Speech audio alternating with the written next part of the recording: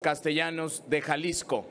Asimismo, nuestro querido senador Eli Cervantes de San Luis Potosí. Y a los periodistas compañeros de los medios de comunicación, Eduardo Esquivel, Arturo Pavón, Demián Duarte, Carlos Domínguez, Lor Molécula y compañeros que nos acompañan, el Pochitoque Mayor. Pásale, por favor, pásale dirigente de las bases de Morena en todo el país. Y hoy es hablar de un tema que le ha sucedido a una periodista el pasado enero del 2020. Fue privada de su libertad durante tres días. Pero hoy la tenemos aquí afortunadamente. La tenemos en su familia, en el seno de su profesión y con el gusto de poder recibirlos a todos ustedes, pero también hay cosas positivas en el país. Y eso es lo que hoy queremos comunicar a todos los medios de comunicación, a todo el país. Muchas gracias. Y que tengamos la gran oportunidad de escuchar con detalle lo que ha sucedido en la persona de Sandy Aguilera.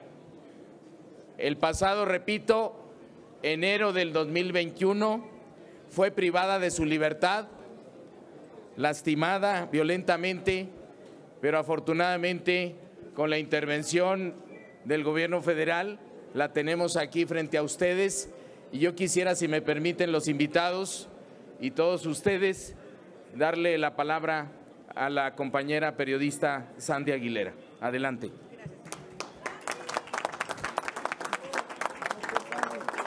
Muchas gracias a todos por estar aquí presentes. Y antes que nada quiero darle las gracias al senador, al senador José Ramón Enríquez por invitarme a dar esta experiencia. Gracias a todos ustedes por acompañarme. Gracias, Emanuel. Gracias a todos ustedes.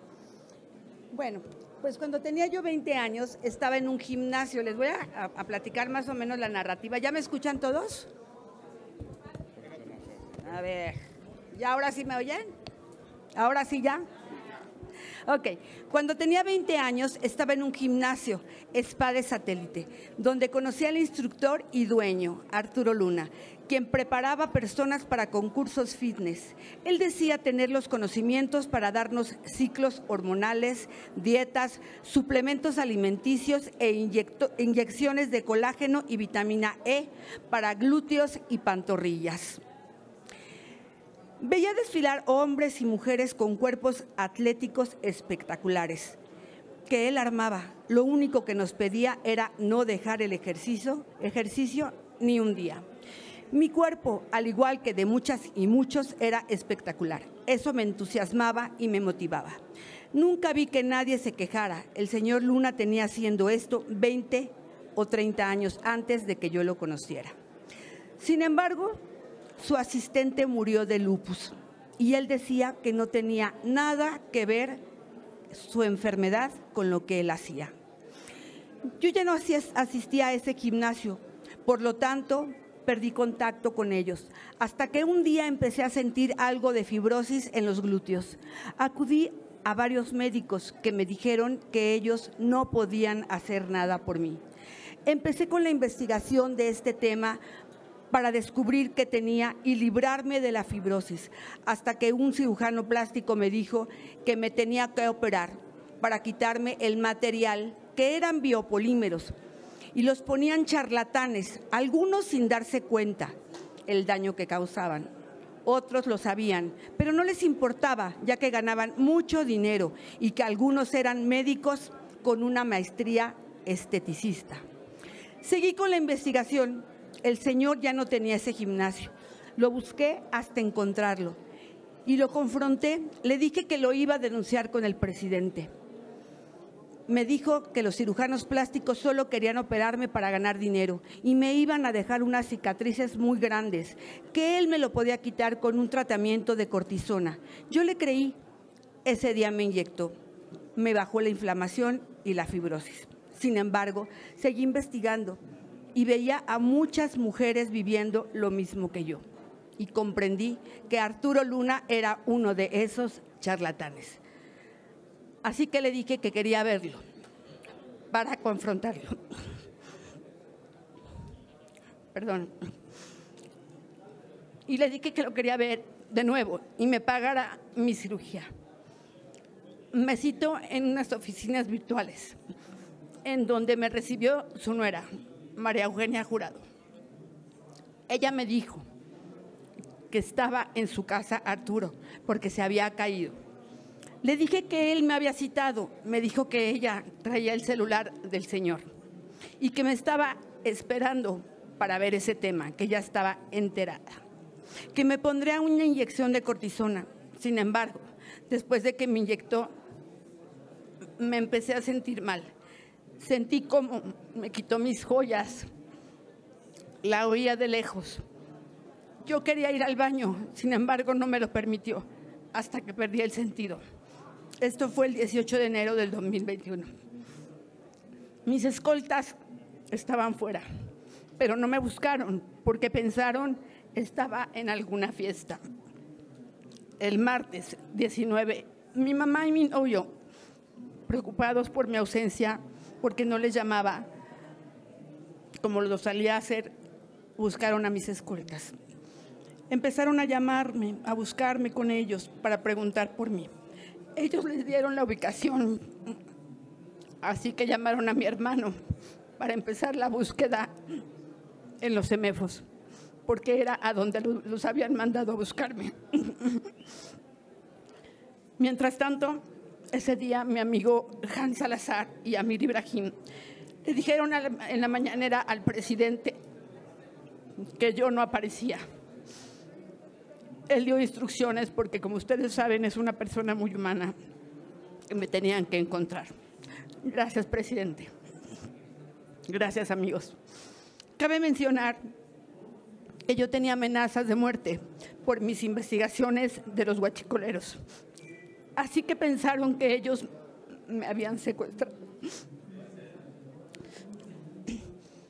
Las especulaciones continuaban. Algunos medios decían que me había ido a operar las costillas a una clínica clandestina y que por eso estaba hospitalizada. Mientras tanto, yo me debatía entre la vida y la muerte. Con la presión mediática y la ayuda del presidente, que se lo agradezco infinitamente, la mujer que me privó de la libertad y me fue a tirar al IMSS de lo más verdes, donde llegué inconsciente y casi muerta tres días después. Tenemos las imágenes de todo esto, las van a poder encontrar. El día miércoles 20 de enero, mi compañero Demián Duarte le preguntó al presidente por mi salud. Gracias, Demián. El presidente informó que me estaba, que estaba muy al pendiente de mi salud y que yo iba a sobrevivir de esto que estaba sucediendo. Aprecio y aprovecho mucho la oportunidad para agradecer a Sue Robledo y al IMSS de Lobas Vermes por, por salvar mi vida. El informe médico fue que me inyectaron algo en una vena, la cual me provocó un coágulo que circulaba en mi cuerpo. El reporte clínico hablaba de que llegué con sangre en los pulmones y las costillas astilladas por la reanimación y varios golpes que sufrí. No daban esperanzas a mi familia de que yo viviera. Gracias a todas las personas que están aquí, que donaron sangre para mí. Sin embargo, sin embargo, gracias a Dios y a todas las oraciones, misas, veladoras de tanta gente y de todas las religiones, estoy viva. Dos años después, el día 30 de abril del presente, se llevó a cabo la orden de aprehensión de María Eugenia Jurado. El día 3 de mayo se dictó auto de vinculación a proceso por el delito de robo y lesiones. Mientras tanto, el señor Arturo Luna y su familia siguen con las mismas prácticas. Presentan diversas denuncias. Aquí se encuentran varias víctimas. Yo ahora lo único que puedo pedir es justicia. Y les puedo decir a todos que si Dios me dejó aquí viva es para luchar por cada uno de ustedes, porque todos somos unos y la salud es primero. Y además la salud y la vida no tiene colores y no representa que sean de Morena o que sea del PRI o del PAN o de cualquier otro partido político. Lo más importante es la vida. Después de esto quiero hacer ver a las heroínas y héroes a todas aquellas personas que denuncien, que se armen de valor. Muchas gracias.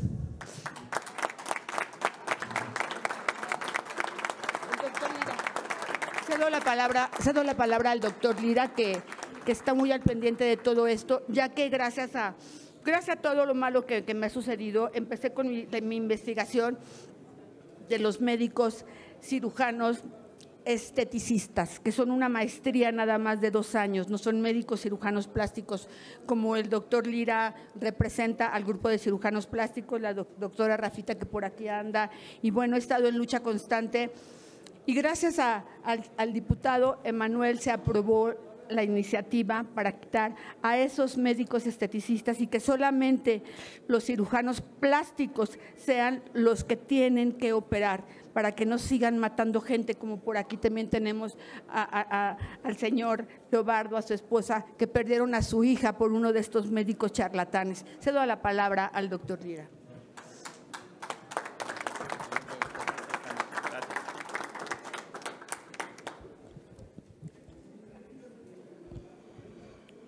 Buenas tardes.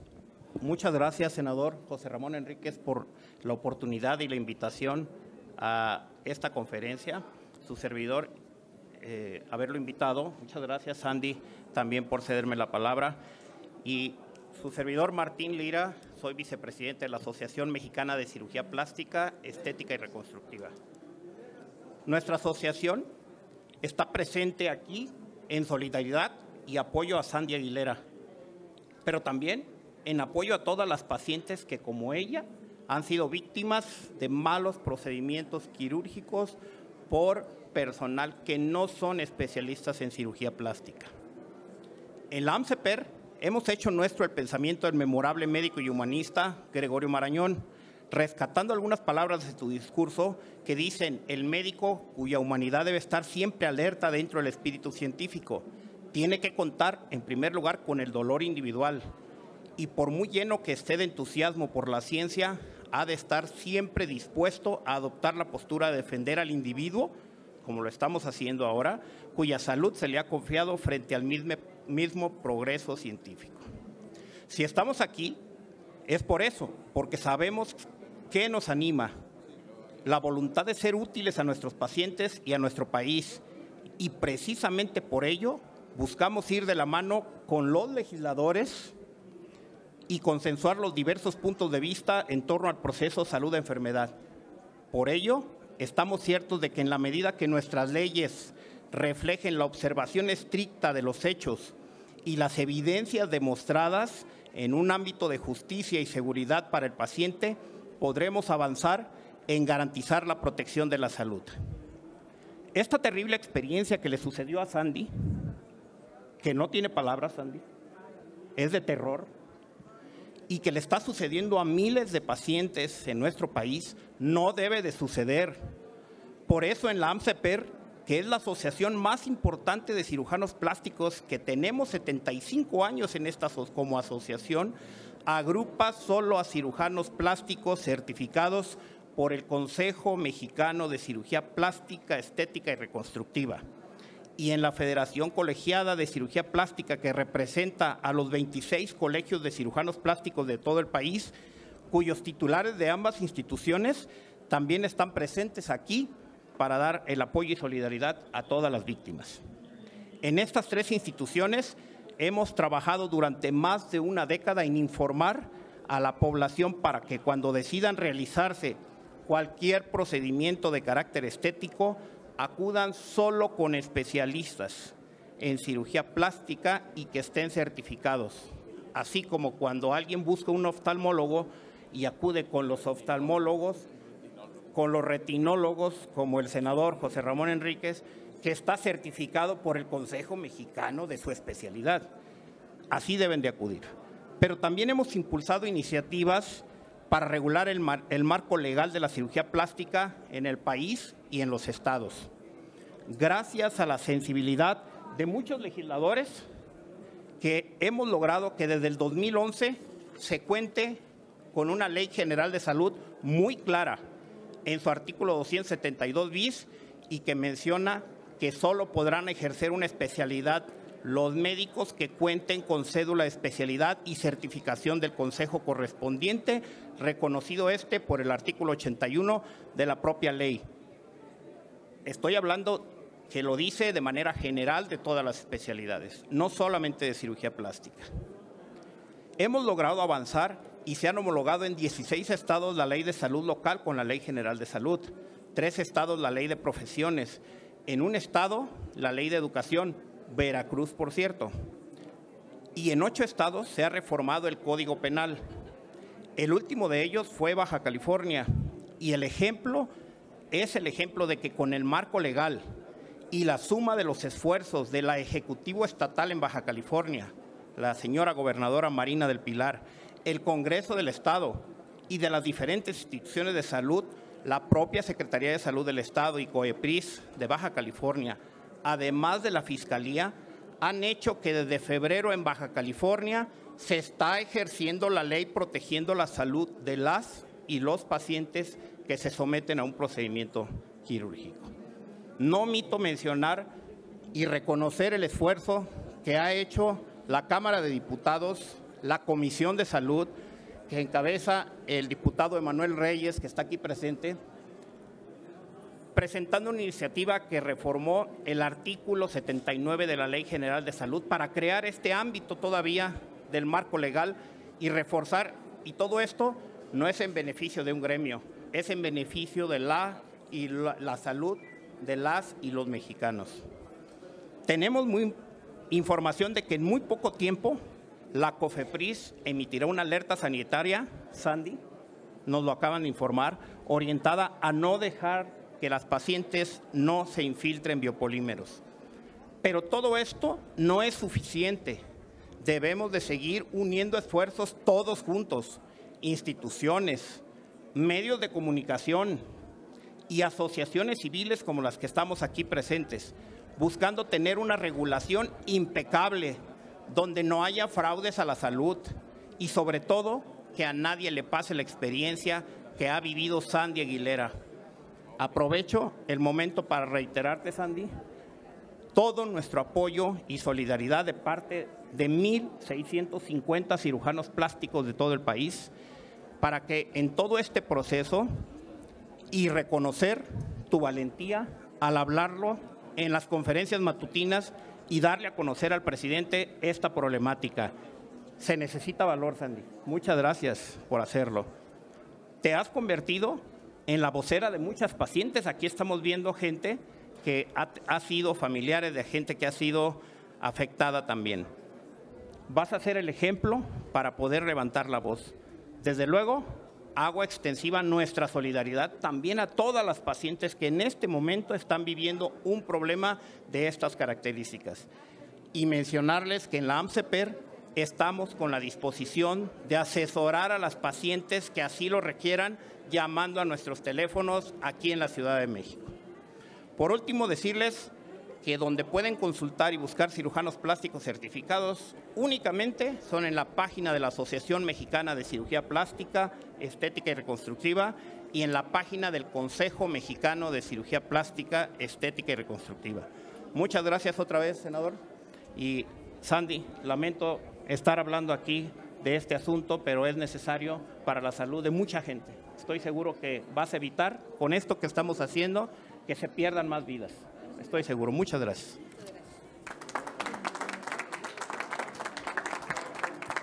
Muchas gracias, doctor. Y bueno, ya por último quiero comentarles que la experiencia de todo lo sucedido me llevó a reflexionar lo que le diría yo a una amiga o a una persona que quisiera hacerse una intervención estética o de cualquier tipo. Ponte viva. Lo que ya han dicho los profesionales. Investiga al médico con el que estás tratando. Búscalo en Google. Ya hay herramientas tecnológicas actuales en las que podemos conocer a los médicos y su práctica.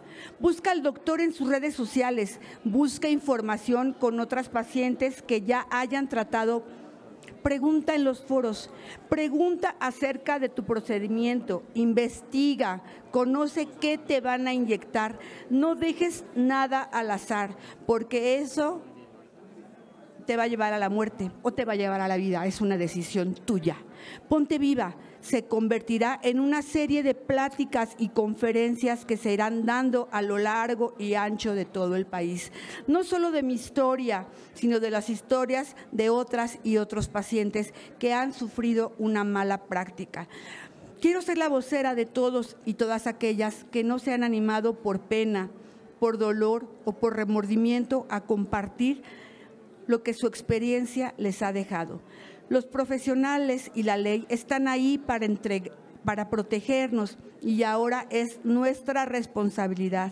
Pongámonos vivos y a todos los invito a que por favor sigan la campaña. Es la campaña preventiva es lo más importante. Que esas chicas que como yo a los 20 años, 18 años, no sabemos acerca de esto, que con esta experiencia podamos abrirle los ojos a las chicas y a las madres para que sepan que esto es de gravedad. Así es que esta campaña va a estar en todo el país. Muchas gracias. Gracias, senador.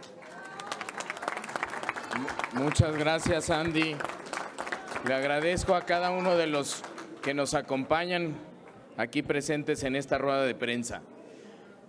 Es importante decir que vamos a seguir luchando porque la figura del médico, la figura científica, profesional, humanista, la figura moral siga creciendo, porque nuestra profesión es la más humanista y la más científica. Y estamos para servir a los pacientes, al prójimo, con nuestros conocimientos. Y eso es lo que nos debe de guiar en los conceptos rectores del ejercicio de la profesión médica, de la ciencia médica. Los médicos tenemos un marco legal para ejercer libremente nuestra profesión. Debemos de respetar nuestras competencias y es lo que vamos a seguir luchando. No es posible que sigamos observando que en lugares abiertos al público en general como un gimnasio, una estética, sin haber cursado una profesión médica, estén invadiendo el organismo de los seres humanos y que les provoque daño. Yo quisiera que Emanuel Reyes terminara esta rueda de prensa, a menos que alguien más quiera participar, y para posteriormente ir a preguntas y respuestas. Muchas gracias.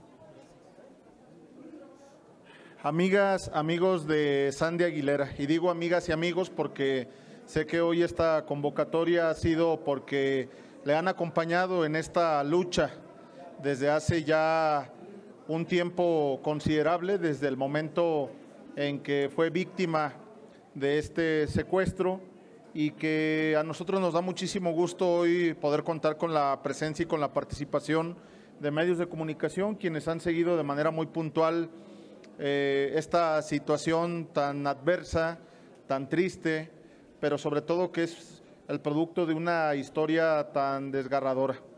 Yo quiero reconocer en primer término al senador Enríquez, que es un gran senador sensible.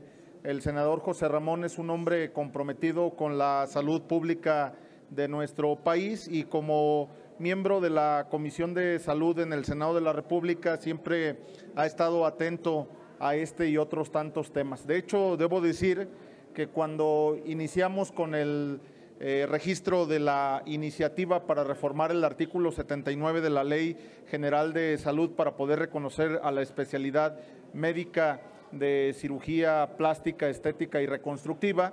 Fue con el acompañamiento del senador que dijo avancemos en la Cámara de Diputados y acá con mucho beneplácito lo recibimos y lo empujamos.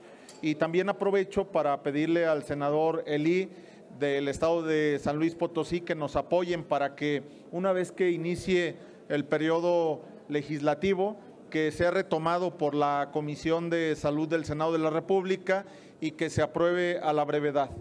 Contamos con el aval, con el acompañamiento de las instituciones de salud, del Instituto Mexicano del Seguro Social, por supuesto, también de la Secretaría de Salud y, por supuesto, del Gobierno de México y que eh, postergar el análisis o, la discusión de esta iniciativa significaría poner en riesgo la vida de muchas personas que hoy posiblemente por lo que hoy se ofrece en redes sociales, eh, a través de estas clínicas Patito, ofreciendo los servicios de aparentemente cirujanos plásticos, pero que ya vimos que no son cirujanos plásticos, sino que son charlatanes, pues ofrecen eh, el sol, la luna y las estrellas a bajos costos y poniendo eh, en peligro la vida de las personas. Tenemos que reconocer y visibilizar que esta es una actividad que va en incremento y que también hay que reconocer que México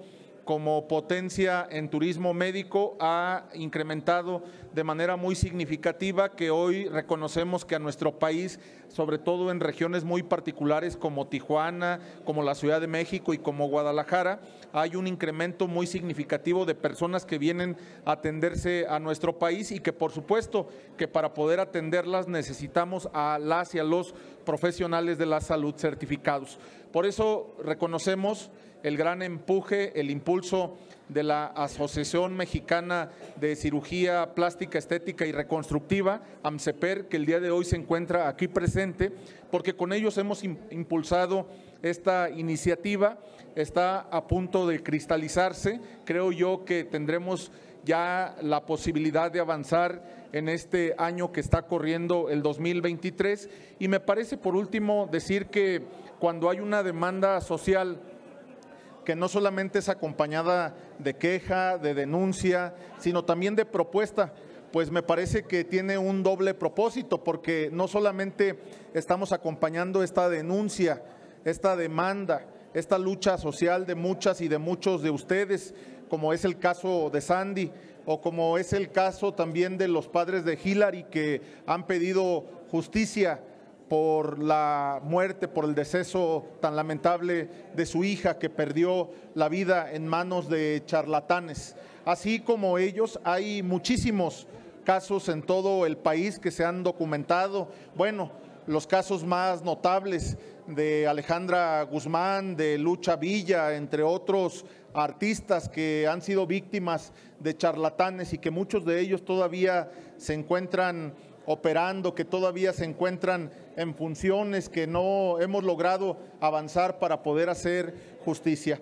Pues lo que queremos entonces es que esta lucha social tenga un propósito de beneficio para que más personas, sobre todo mujeres, pero también hombres que se someten a este eh, eh, cierto a este eh, tipo de procedimientos quirúrgicos tengan las garantías de que están siendo tratados por profesionales y no por charlatanes. De lo que se trata es de que le cerremos el paso a los charlatanes, que no haya más charlatanes usurpando las funciones de los profesionales, de los especialistas, que tantos años les ha costado de preparación, que tantos desvelos, que tanta inversión y que por supuesto hoy reconocemos en esta iniciativa el trabajo que ellos están haciendo, poniéndose al servicio de la sociedad mexicana y también para el resto del mundo. Así que felicidades, Sandy, por esa lucha, por ese empeño, por ese empuje. Estamos ya a punto de coronar esta propuesta y estamos comprometidos hasta el último minuto porque sabemos que el senador Enríquez, el senador Elí, la senadora Lilia Margarita, presidenta de la comisión, van a empujar y van a acelerar su proceso para que sea discutido en esta máxima tribuna del Senado de la República. Muchas gracias. A los medios les preguntamos si hay alguna. Muchísimas gracias y que tengan bonita tarde.